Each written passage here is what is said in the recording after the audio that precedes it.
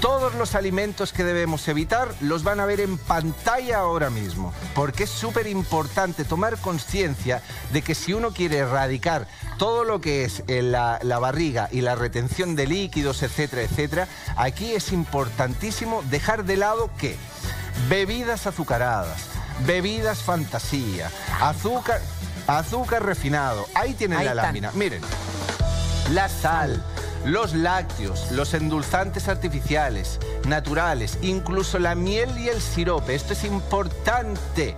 Bien, bebidas alcohólicas, bebidas de fantasía, aguas saborizadas. Cuando decimos aguas saborizadas, no significa que tú le eches una rodaja de limón o menta o algo. Significa esas aguas envasadas que ya venden con sabor a durazno o sabor a pera o sabor a manzana. Bien.